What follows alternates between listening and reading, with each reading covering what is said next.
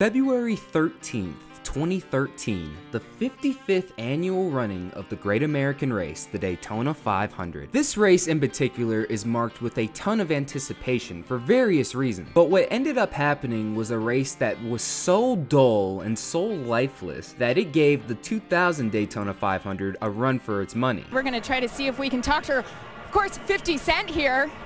I gotta go talk to Danica Patrick. Good to see you. What are you doing here? I'm enjoying myself. I'm enjoying all the festivities while we rolling. That awkward embrace should have told us that this wasn't gonna be good.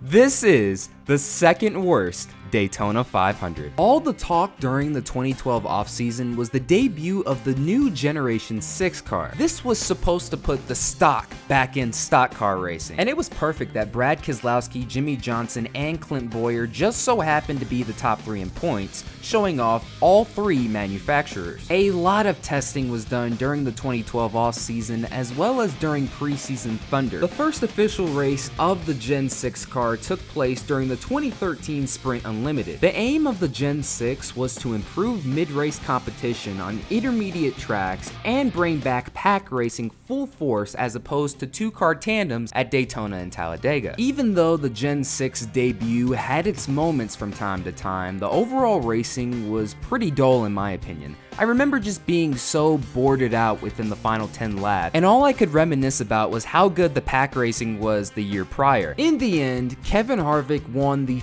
first ever race for the Gen 6 car, and the following day was marked by a historic event with Danica Patrick becoming the first ever female driver to take the pole in the Great American Race. This was obviously going to bring in a lot more of the casual viewer base in particular, and the previous season's Daytona 500 on its own brought in a lot of hype as well. Unfortunately, there was a bit of a dark cloud heading into that season's race. Kyle Larson's car had gone airborne and into the catch fence in the previous day's Nationwide Series opener. In total, 28 fans were injured with two of them being in critical condition. Much of the tragedy was due to the car hitting a cross crossover gate in the catch fence. Thankfully, no fatalities occurred on the racetrack or in the grandstands, and Daytona International Speedway was able to make the necessary repairs in time for the 55th annual Daytona 500 to commence. During the pre-race, Michael Waltrip had stated that we're gonna see three wide racing.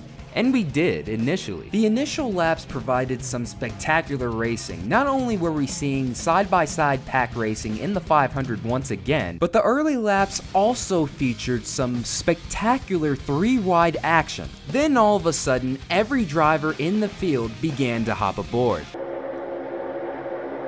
10 laps complete. Jeff Gordon's number 24 Chevrolet leads the way. He has now led more Daytona 500s than any driver, with the exception of Richard Petty and Dale Earnhardt. And when I say hop aboard, I mean hop aboard the choo-choo.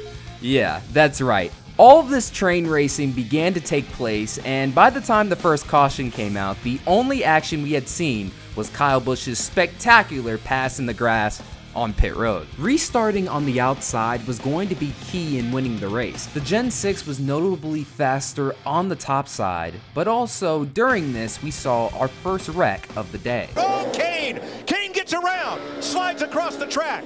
Dillon misses him. More carnage down toward turn number one. Montoya, Harvick. For real low apron. All with damage as the caution comes out.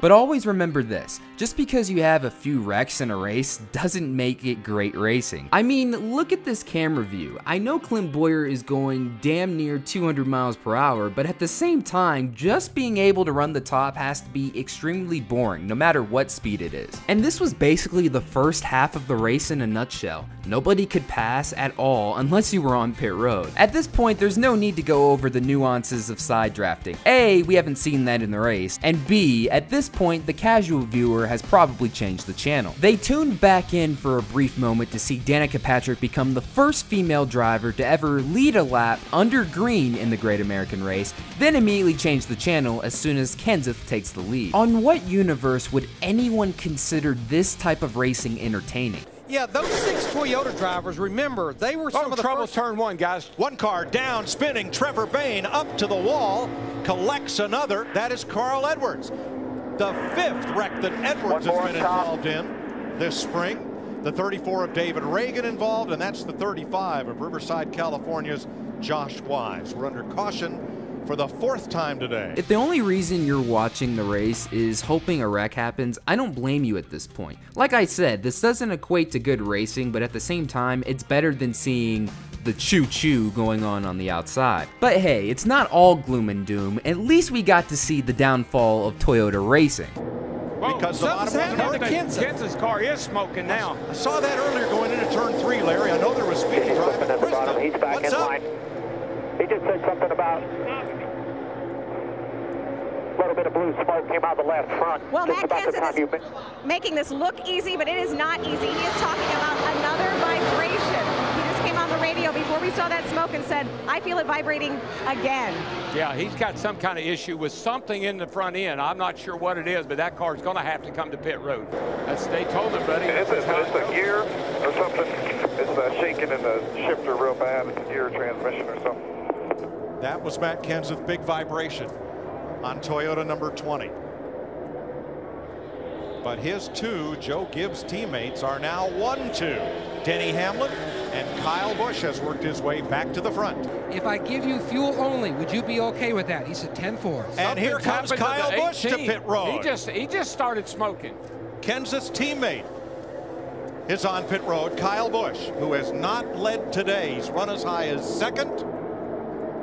Krista, his looks different. It's coming out the exhaust pipe. Yeah, completely different situations. He's talking about it blowing up. Matt Kenseth knows it was something with the drivetrain because he said when he put it in neutral, it stopped shaking. It was shaking so bad he couldn't see. Right now, they're trying to figure out what's wrong with his teammate, Kyle Busch. Three of the top four running Toyotas in the field were gone in an instant. Denny Hamlin was their only hope at winning that season's 500, but a late race caution during green flag pit stops involving Jeff Burton would reshuffle the field. Brad Keselowski just so happened to restart on the outside, therefore he got the lead. But then a later caution came out within the final 10 laps. Jimmie Johnson happened to be right on the outside and ended up taking the lead. It's that simple. Darrell, keep an eye on Dale. Oh, car in the wall, hard. Turn one. And it's one of the BK cars. It's the 93 of Travis Kvapil. Let me know if No the comes caution. Out. NASCAR, if the track is clear, they will let them finish. We are still green. and here comes come the Dale leaders. Jr.. Yeah, Mark Martin is really pushing Dale Earnhardt Jr. in that 88. Junior to the inside of Greg Biffle. The green flag still flies. Martin's number 55. Keselowski in the two. Biffle backing up.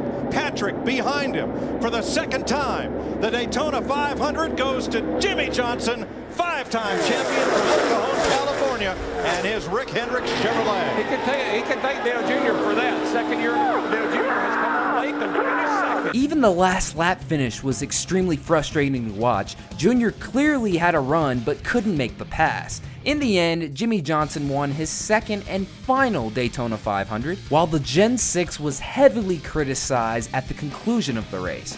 This race had a ton of hype leading into it, but all came to a whopping flop. I never saw the 2000 Daytona 500, but the 2013 Daytona 500 is without a doubt the worst Daytona 500 I've ever personally seen. Living up to the 2012 one was going to be a tall order to ask of anybody, but at the same time, I expected this race to be so much better. But I'm still of the opinion that the 2000 Daytona 500 is without a doubt the worst in history, with the 2013 one coming a distant second. Oh yeah, the Harlem Shake. Never mind, a close second. And once again, that'll do it for another video. Thank you guys so much for watching. This is Black Flags Matter. Catch you next time.